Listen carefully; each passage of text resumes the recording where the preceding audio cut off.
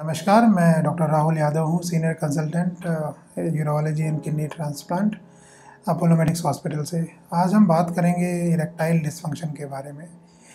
आजकल जो stressful environment है, स्ट्रेसफुल वर्ल्ड है, स्ट्रेसफुल जॉब है, उसके कारण यंगर एज ग्रुप्स में इरेक्टाइल डिसफंक्शंस के एपिसोड्स बढ़ गए हैं। इरेक्टाइल डिसफंक्शन के कारण बहुत सारे हो सकते हैं डायबिटीज़ के चलते इरेक्टाइल डिसफंक्शंस हो सकते हैं, जिसमें नर्व्स की वीकनेस हो जाती है, ब्लड प्रेशर बढ़ने के कारण जो ब्लड सप्लाई होती है, जिससे पेनिस का इंगॉजमेंट होता है, उसके कारण से इरेक्टाइल डिसफंक्शन हो सकता है।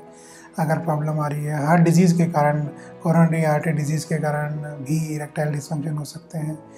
न्यूरोलॉजिकल प्रॉब्लम्स के कारण नर्व्स के डैमेज के कारण, या नर्व्स की इरीटेशन के कारण ये इरेक्टाइल डिसफंक्शन पॉसिबल हैं। आज के स्ट्रेसफुल इन्वायरमेंट में एंजाइटी डिप्रेशन स्ट्रेस डिसऑर्डर्स इन सब के कारण इरेक्टाइल डिसफंक्शन हो सकते हैं।